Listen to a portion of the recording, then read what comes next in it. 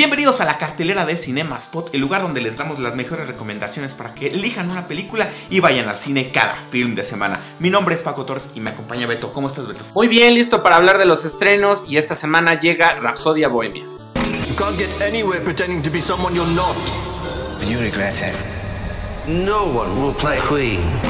La película es una celebración a la banda de rock Queen, pero principalmente habla de la vida de Freddie Mercury, su vocalista, quien rompió estereotipos y se convirtió en uno de los músicos más famosos del planeta.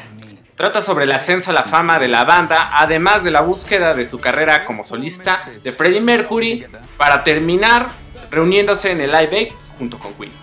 Este concierto es muy importante que lo revisen, pueden verlo a través de YouTube. Y resulta curioso que la participación de Queen solamente duró casi 20 minutos, Beto.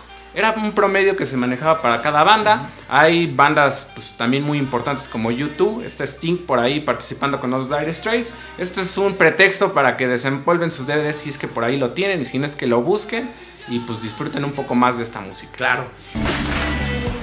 La primera opción para interpretar a Freddie Mercury fue Sacha Baron Cohen, pero tuvo diferencias creativas con el guitarrista de la banda de Queen, Brian May, y decidieron pues darle las gracias ya que el perfil de Sacha Baron Cohen, que es más tirado a lo cómico, pues no encajaba para interpretar a ese gran músico que es Freddie Mercury. Four misfits who don't belong together. They're playing for other misfits. La película es protagonizada por Rami Malek y eh, dirigida casi en su totalidad por Brian Singer, a quien ubicamos por las películas de X-Men, productor y director. Y por ahí lo despidieron por unos problemas de indisciplina en el set porque decían que faltaba mucho, pero pues a él se le da el crédito de director. Beto, sin duda esta película es para los fans del rock, para los fans de Queen y por supuesto de Freddie Mercury, que vino a marcar un antes y un después en la vida de muchas personas.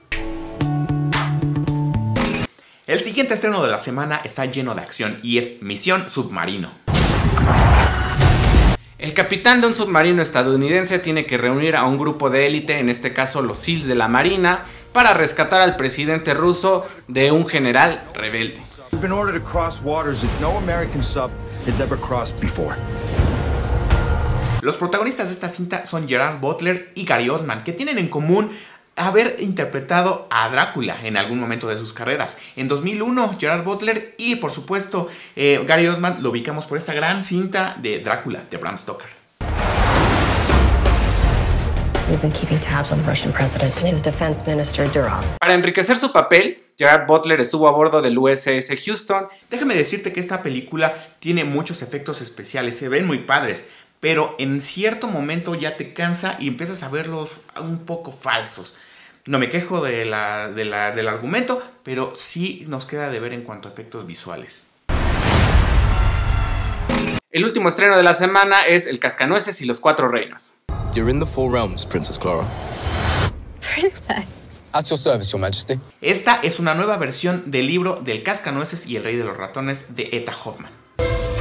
Your gift this year will be something you'll never forget. La joven Clara, quien resulta ser una princesa, se encuentra en tierras extrañas, donde hay cuatro reinos, el reino de la nieve, el reino de las flores, el reino de los dulces, y en el cuarto reino es donde se tiene que enfrentar a la malévola madre jengibre y a su ejército. Aquí tiene que restaurar la paz. Ginger started this war. Don't you know it's dangerous here?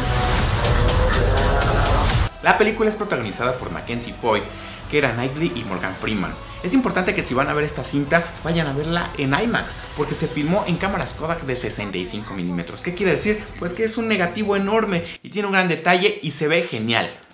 Pues ya tienen tres opciones, eh, decidan cuál van a ver y pueden dejárnoslo en los comentarios.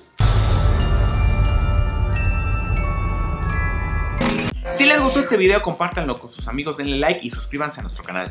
No olviden que para estar enterados de las mejores noticias del cine y la televisión, deben de seguirnos en nuestras redes sociales. Y recuerden que también tenemos boletos y entradas al teatro, muchas cosas, muchas sorpresas cada vez más. Mi nombre es Paco Torres, muchísimas gracias Beto. Al contrario, gracias a ustedes y nos vemos en el próximo video.